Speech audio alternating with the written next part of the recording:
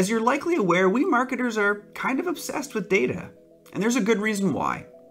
Data is the key to unlocking insights from our marketing campaigns, and those insights allow us to do better things, such as increasing ROI. Yet, although we know data is important, it's really become harder to harness as the channels that we're gathering it from have increased exponentially. We send emails, deliver ads, build websites and apps, and that's really only scratching the surface when it comes to communicating with our customers. The challenge with this is that all of these communications or touch points speak in different data languages.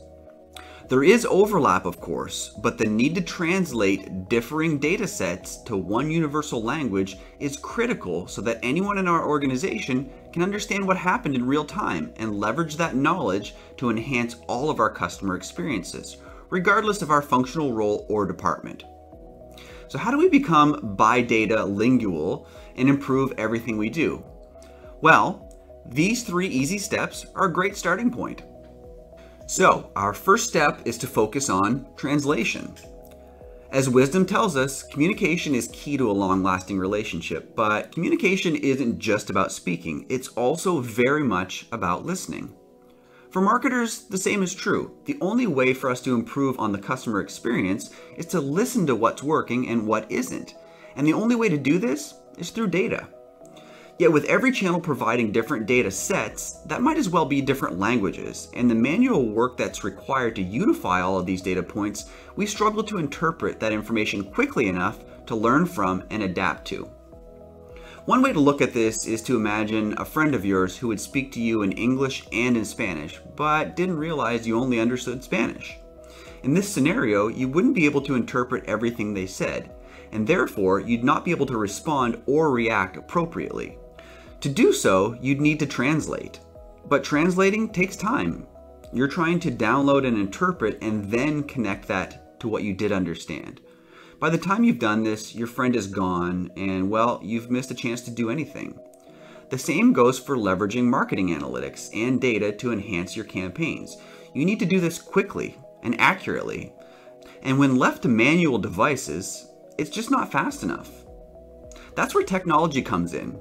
It can help you unify and standardize all of these different data sets, turning them into real time insights that we can use to act upon across messaging, audiences, insights, and campaigns.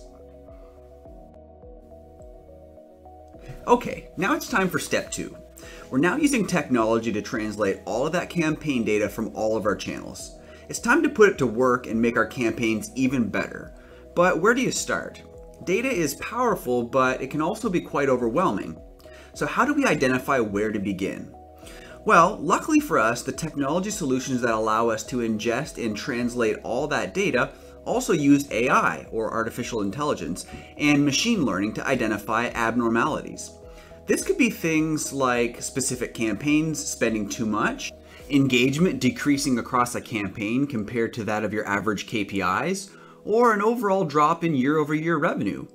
With AI, marketers can quickly uncover hidden opportunities across all of their campaigns and channels, meaning instead of digging through numbers, they can actually focus on driving campaign effectiveness and campaign performance. It allows marketers to kind of have a digital assistant who can analyze information quicker than any individual can. And you know what they say, with many hands, well, you get it. Okay, now that you've solved the too much data issue and the translation issue, you and your fellow marketers are all set.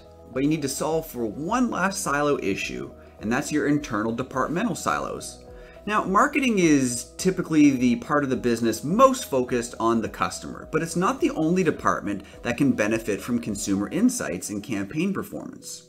Your C suite, for example, your sales, your finance, and product teams can also benefit from this data. However, they tend not to be able to understand the information coming through, which means your marketing teams are always having to explain it and deliver it to them. This usually occurs on an ad hoc basis and can be extremely time consuming. Fortunately, a powerful analytics technology, kind of like the one we mentioned earlier, caters specifically to this translation of information. So using the previous language example, let's say your sales team speaks Spanish and the C-suite speaks Hungarian and your product teams, I don't know, they speak JavaScript. Well, as marketers, we can leverage the technology to identify the language and data that these individuals need and can interpret, and then set up an automated insight and information directly to them in a way that they can consume it. Automation here is key, and it allows your teams to create something only once, which means instead of pulling reports for other stakeholders whenever they ask, they can focus on testing and optimizing performance and evolving their marketing campaigns for success. So that's all we have for you today. To learn more, head on over to Trailhead and check out this amazing new mix.